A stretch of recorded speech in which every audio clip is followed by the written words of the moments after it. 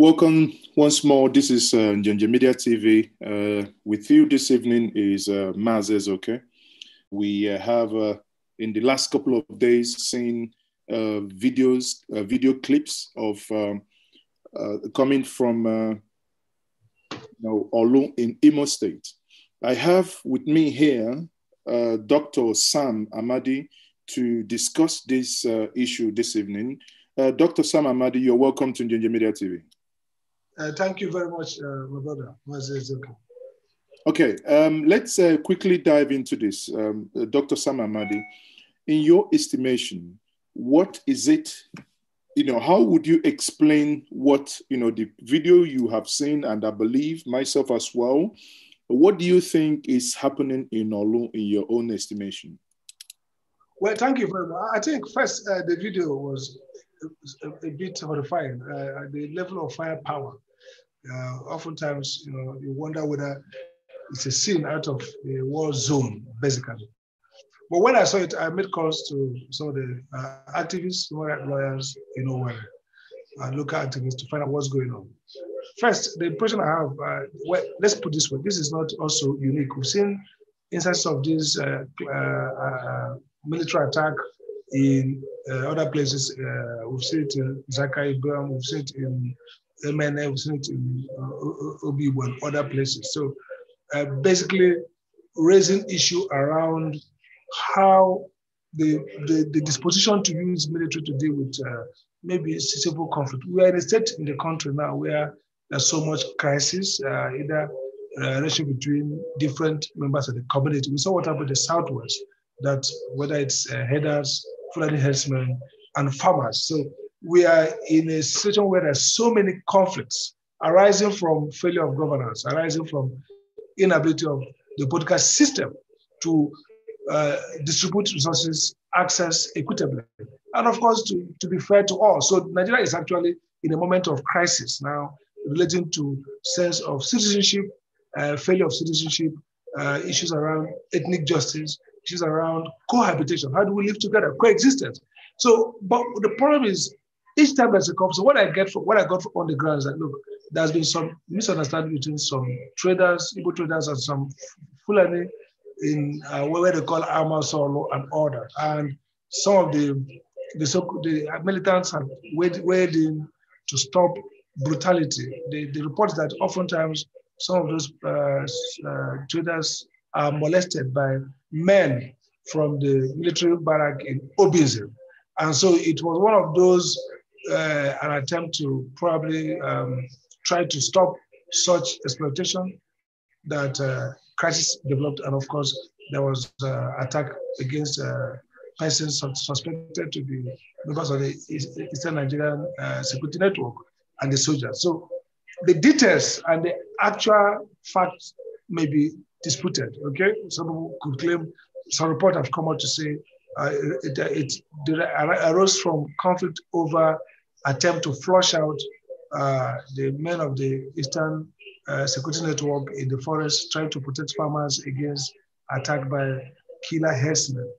That has been some narrative. But for me, as a as a legal practitioner, as a, a leader, what matters at this stage is that each of these conflicts should be handled in a safer manner with law enforcement, police enforcement, and the governor should stand up and ensure that there's, there's, there's peace, justice in Imo State.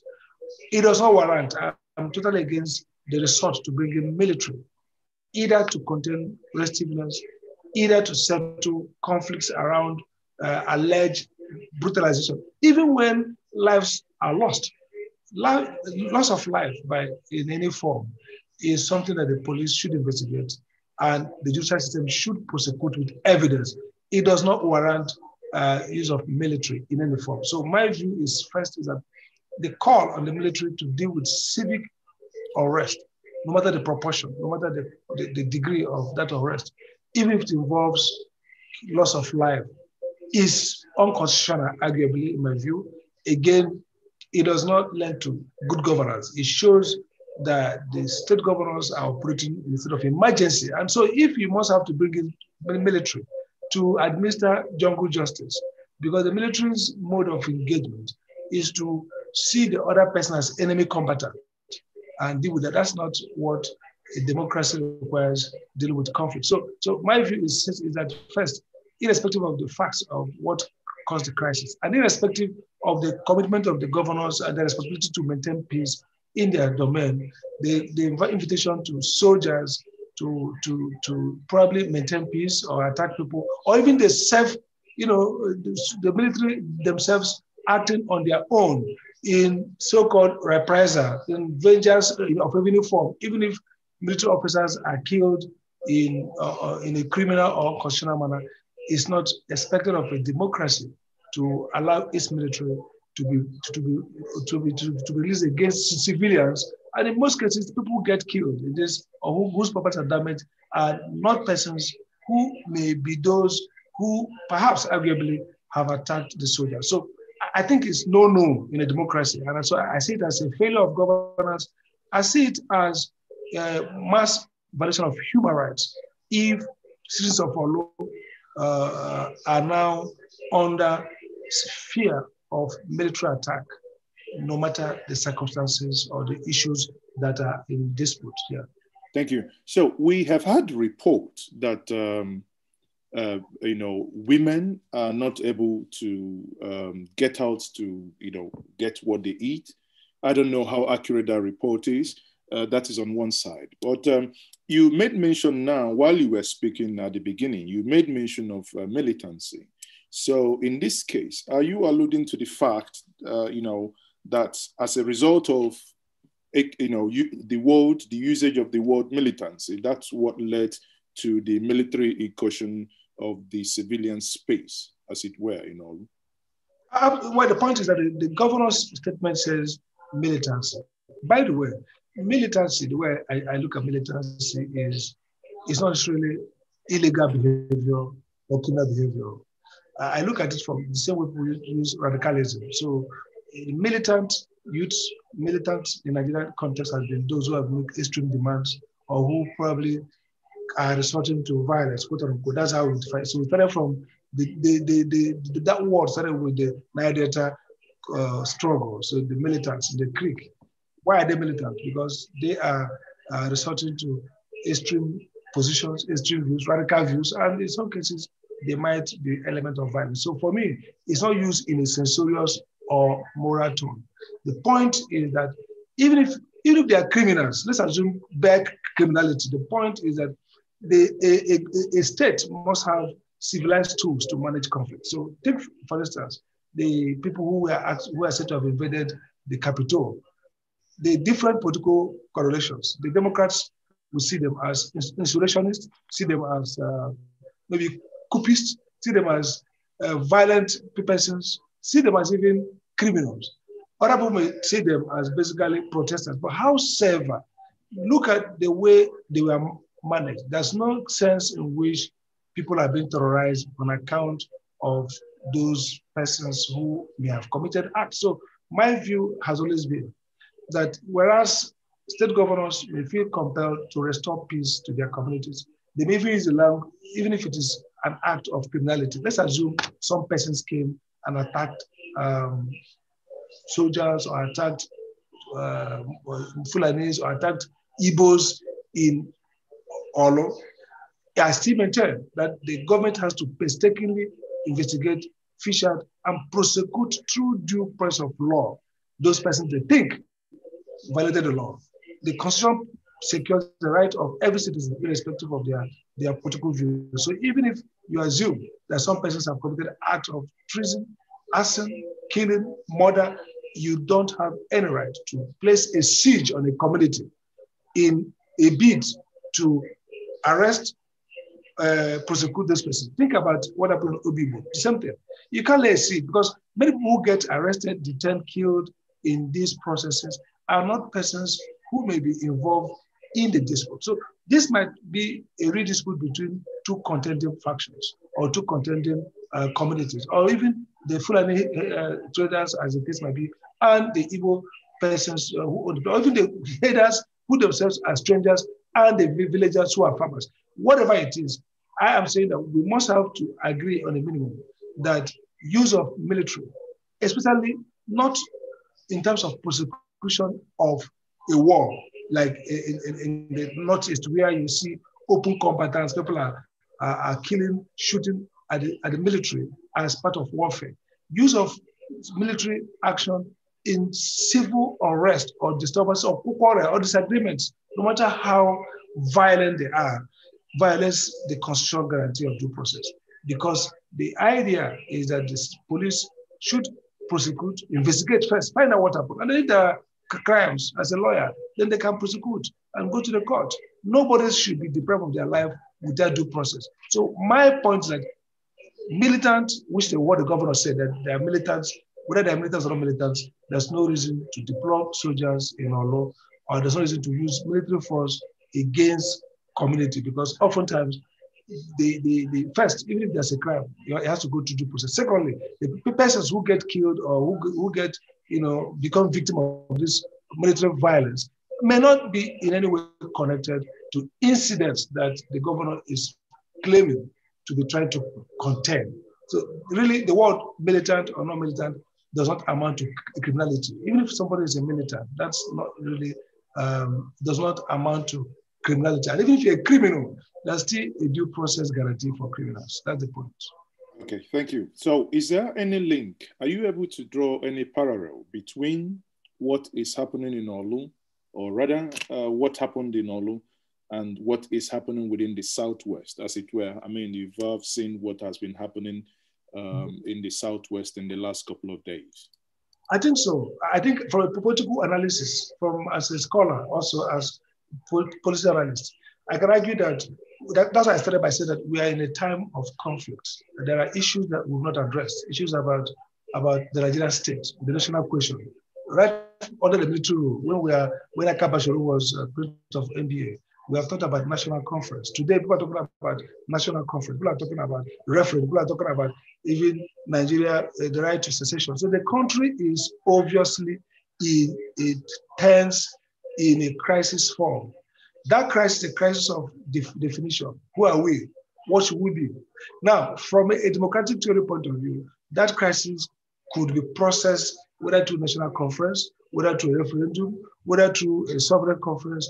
Uh, the, the, Southwest, uh, uh, Afenifere, uh, Ohanaeze, and Middlebelt people are talking in terms of, I've even given a, a deadline for the government to act by abrogating this constitution and creating a new framework for uh, that coexistence. So that is the background in which all this happened. But the Southwest crisis has been building up. And what is it? Basically, conflict over livelihood, over ownership, over justice around farmers and headers who have become, in many cases, terrorist headers. Now, three issues. One is that the government has not been very clear and objective in, in trying to deal with the matter. So we've seen a, a tendency for the federal government to basically respond more to the, to the in the defense of the headers and not in defense of farmers.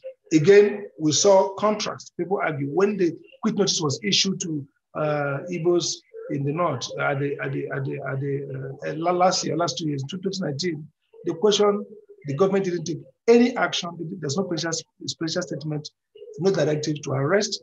That was the most unconstitutional and criminal act because somebody, you know, kind of violated the, the citizenship of the Nigerian people, the Igbo race as a whole. They notice to leave. There was no official reprisal. There was no um, attempt to uh, special statement, no prosecution. Again, we saw again with the Farakuka incident. We've seen also that the president ordered the uh, IG to go to Benue, and IG didn't go to Benue.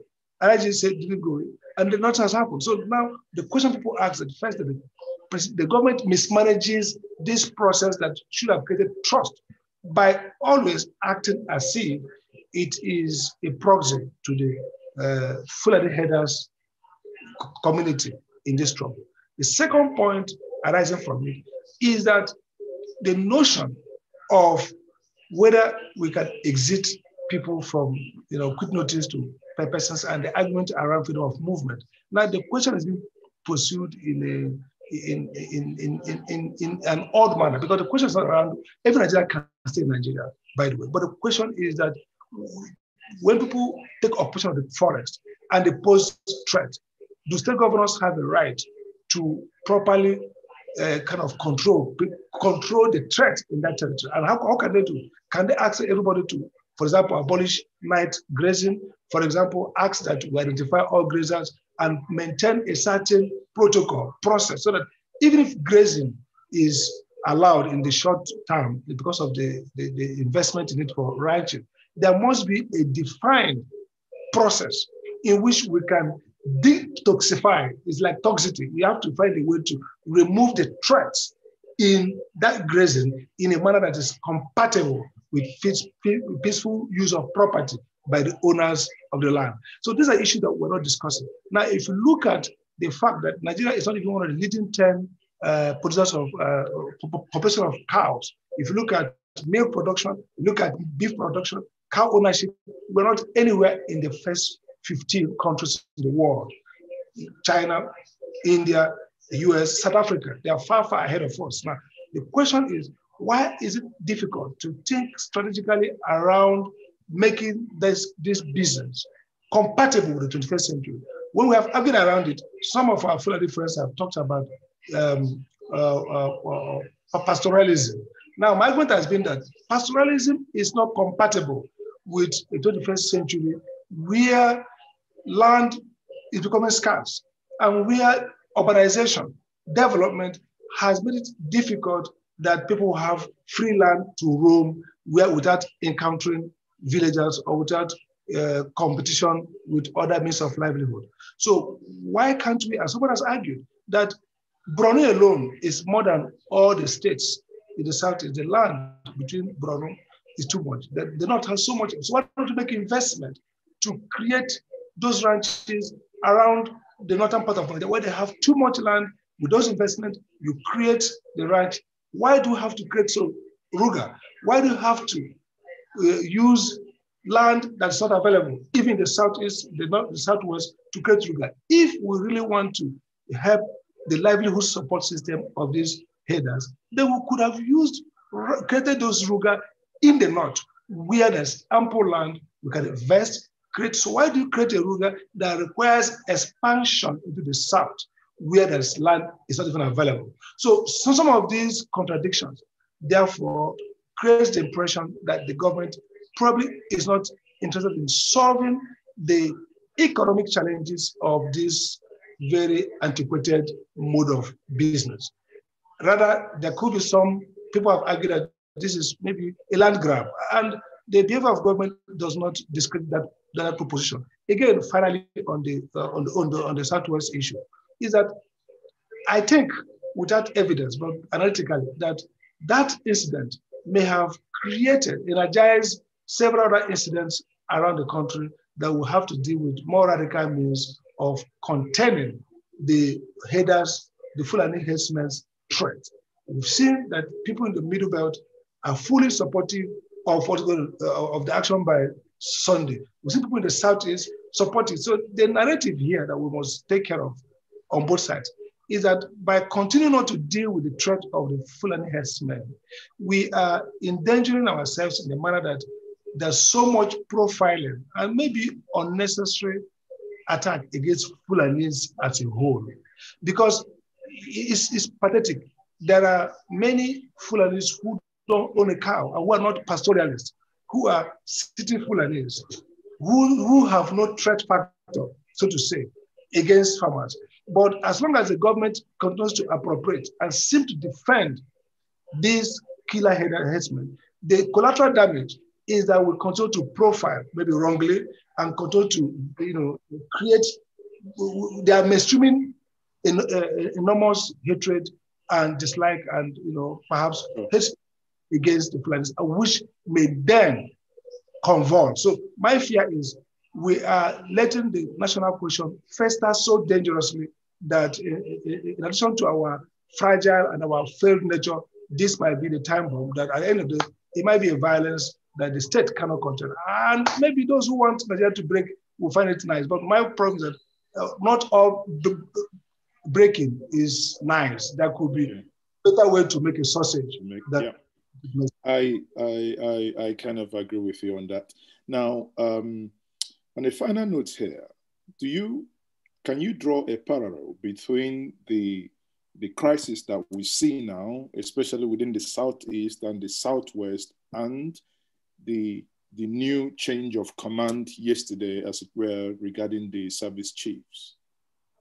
Well, let me put this way too, from a political reading. You know, oftentimes um, I am a, I'm, a, I'm a student of politics. I want to be led that what's the art of the possible. People have oftentimes think that no regime is so powerful, so insular, and so fortified that it does not respond to public policy. But the question is, we don't know how much response, or what actions are true response or gimmickry. Now, put it this way, obviously, there have been calls to remove these service chiefs, and uh, I would argue that this, the attempt to remove them and the way it's done is more like a palace guard, uh, change of guard, okay?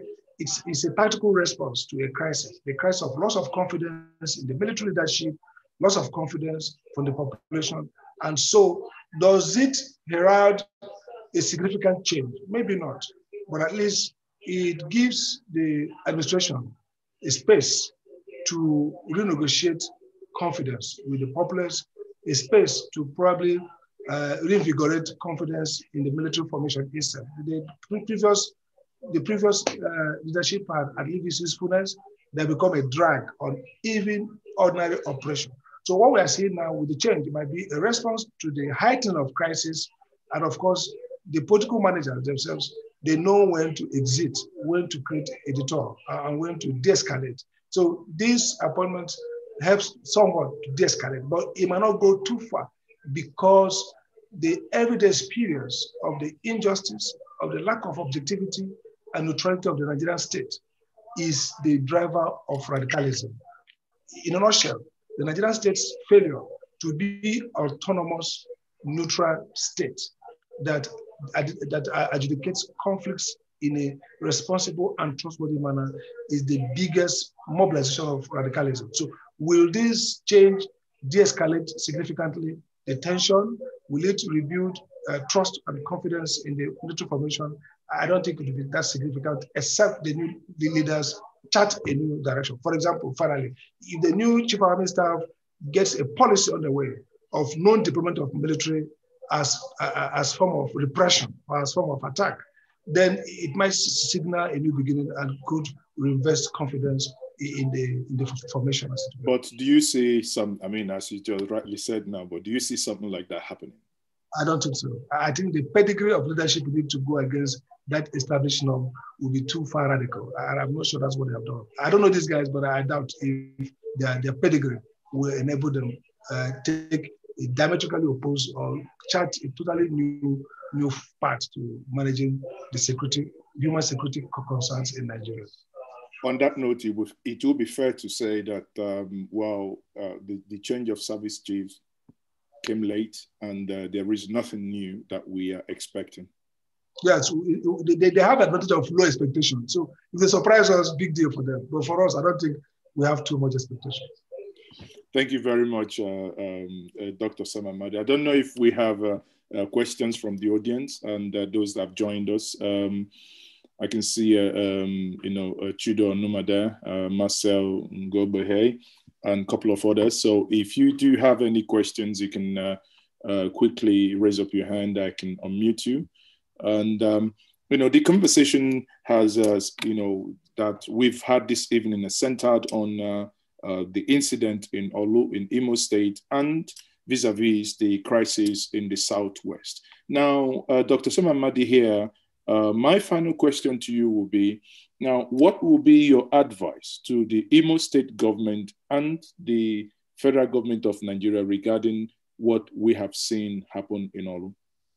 Okay, as a, as a political activist and also as a, a, a politician, I would tell the governor you see, um, the government, the governor, gov, the governors in South should learn to engage the so-called militants, whoever they are. you can't govern a state effectively if you don't, you can't engage a very strong movement, a growing movement like what you see on ground in the Southeast.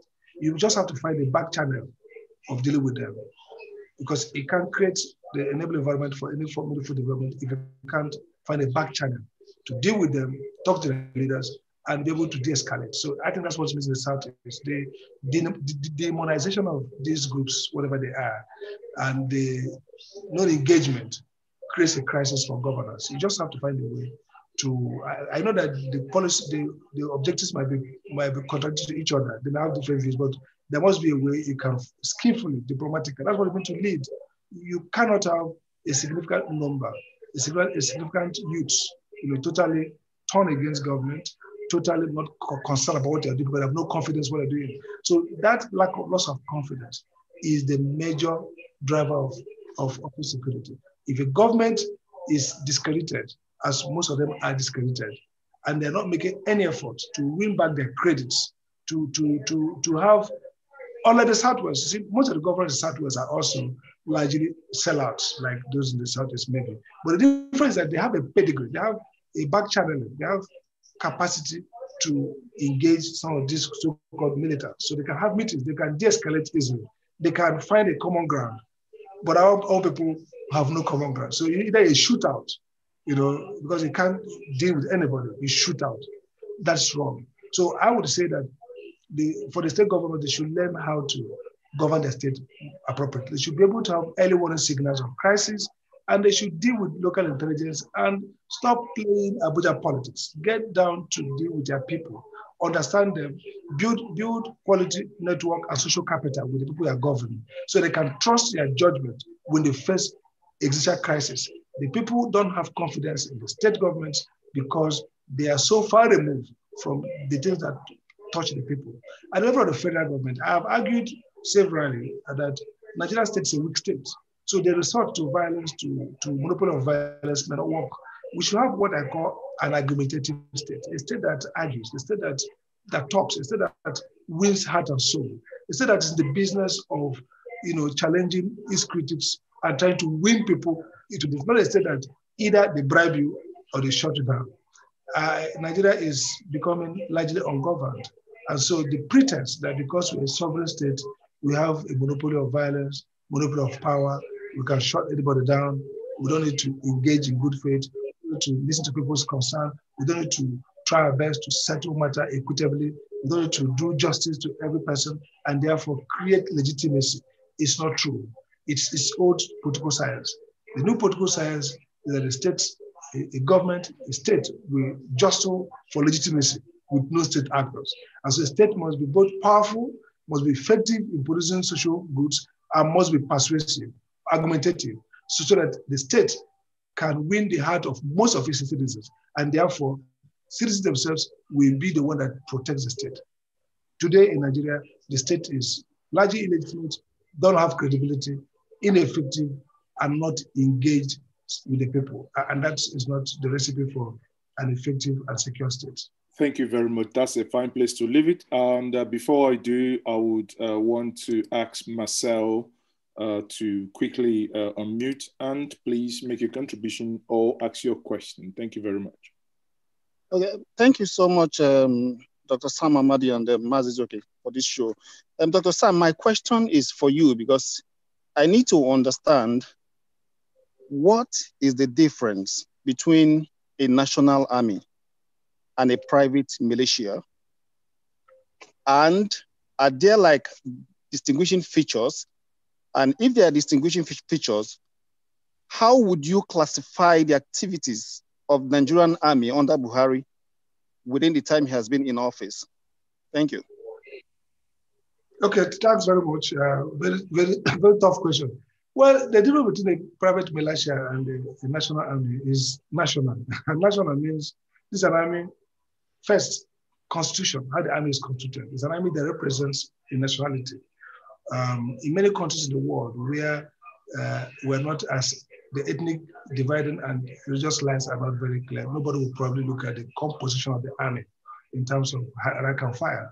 We were just celebrating the first uh, head of the Pentagon, uh, black uh, Secretary of Defense in the US. So uh, if the army is fair, if the, you see, conflicts around identity, who is who, also becomes, Mm. you know, exaggerated when the quality is poor, when there's unfairness, injustice, ethnic cleansing. We heard the Danjuma spoke the other day about, about the Nigerian military as now an ethnic military. So because, probably because of the behavior of the leadership. So national military first represents a nation. Its, its mandate is to protect the nation, not to protect a particular people, but the nation as a whole. So it's both in the constitution, composition, mandate, and function. So all national armies are in name national army, all armies of a country. But in reality, we've seen in Africa instances where the military has been ethnically captured. We saw during the time of um, uh, Idi Amin, we saw that. We've seen it across Africa, where the military is now represents an ethnic group. In fact, sometimes the military become a personalized military, defending the survival of the regime in power and not at the detriment of the nation. So in Nigerian case, of course, we have the national Nigerian army, which is in which is which is the national military. But the question is, in operation, in function, in appointment, in management, are they acting in line with that mandate of protecting all Nigerians? Now, there's a report unverified about soldiers leading some herdsmen into Odo or so. I heard the community there, and they were slapping some of the obas who supposedly resisted those. That's no longer a national military. And so that's what happens with institutions. Institutions, they're not properly monitored and vigilant. They can become, they can become captured, elite capture. So if you look at the theory of the state, political theory of state, a state is autonomous. What that means that the state is autonomous of all the contending social economic interests. But most weak states like Nigeria are captured states. They are captured either by political uh, economy, whereas Dangote, whether it's a set of billionaires who capture the state and make the state work for own interests. They are captured by ethnic groups. In Nigerian history, that from 1959 at the, at the London Conference, has been a history of ethnic competition for power. That's part of my work, talking about incoherence, cultural incoherence, that we've never had, we've created a nation where the focus is on ethnic identity. And so the force has been about ethnic competition at competing each ethnic group. So we've seen instances where the military becomes an ethnic military or a military against an ethnic group. And that's why we want to talk about ethnic cleansing. In Benue, when that happened, the governor, everybody, they lost confidence in the Nigerian security, including the Nigerian police. There are reports we get about people say, well, we arrest these guys and take to the DPO, they are released because those DPOs either they have a certain instruction or they are they are acting not professionally, but based on their ethnic identities. So they, they, they, they, slip from national army to ethnic army or to private militia can be very, it's a, it's a, a slippery slope and it can be a timeline. By the time you know it, a national army has become privatized or ethnicized military. So in terms of definition, I would say the difference between a national army and a private militia is that the private militia is composed, constituted to serve a private interest. Its mandate is private and its function is private. A national army is composed nationally to serve, and its mandate is national, protect the, the, the nation. Its function, the way it operates, is in line without sovereign neutrality. It's, it's not captured by any particular interest. It's not captured by any interest It's focused on protecting the territorial integrity and the security of the nation. And when it protects public officers, it's protecting them as a proxy of protecting the nation, not protecting them as an instrument for them to use to, to, to fight or destroy the nation, as the case might be. Okay. That has happened. So, in my view, um, is this a Nigerian army, um, a national army? Yeah, in, in nomenclature, definition, but, but operationally, gradually, you know, getting to be discredited because of some of this um, lack of neutrality. Thank you very um, much. So, um, thank you. Um, sorry, sorry, Mazaki, just a follow-up question. Thank you so much, um, The reason why I asked this question is that when you follow the trend of the operations of the Nigerian military, right from when the current administration comes in, all the way from the middle belt down to any of the zones, to Lagos, to Abuja, I, I begin to question the interest in which the military is serving. Again, I do not understand the operational command of the military, as in who has the power to deploy the military, and then under whose authority can the military be, be deployed? Because these are the things we the public needs to understand so that we know exactly who to hold accountable when the military commit atrocities. In the case of Orlu, for instance, who exactly has the ultimate power to deploy the military? Because that's the person that the public, that the international community will hold accountable for any debt or for any action that the military commits on, on, on the ground. I agree with you. I mean, I don't even know how to do it, but essentially, the military cannot come out except they are deployed by whoever has authority to do so. I agree. Yeah, but we saw we saw that in Lekki, where there is this uh, confusion as to who gave order, and even the person that uh, invited them at some point denied that he hasn't got such power to even command the military. That shows that the level of transparency and professionalism in our institution, not just the military. You see, those institutions are. I was saw it all over the world that look, institutions are delicate the way they can begin to become murderous, dangerous, if you don't monitor it. So you can have a, a, military that ought to be professional, but that military might now become roguish, just like the police. So, so it's all about the descent, the, the desecration of that professional ethos. Ordinarily, they should be clear who directs the military. So if there's someone who gives instruction and the instruction is illegal, the person will be held accountable. But in Nigeria, there's I did, I did not. Who did, who did not, and the mother will go. So, so it's difficult to bank on the credibility and the credibility of Nigerian institutions at this time. Okay, thank you very much. And the final question from, uh, can you go ahead? Hello? Is that me? Yes. Right. Uh, I've been listening to, uh, by the way, it's Mr. Moto, by the way, that's my name. Mazimoto. Can you hear me? Go ahead, we can hear you. Can, can you guys hear me? I say, go ahead, we can hear you. Thank you so much. You see, what all of you are saying there, it's what ought to be, not what is in Nigeria. You know, it shocks me when people talk about who is, uh, whose authority is this and that authority is that.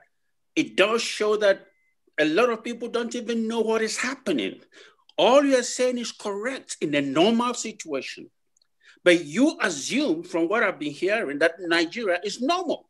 I'm telling you that the governor has no authority even to direct the commander, a colonel. You saw what happened in Lekki. Somebody mentioned it. Army refused to come. The army is typically and practically, and I can prove it without any, any hesitation, the army is a jihadist northern army, period.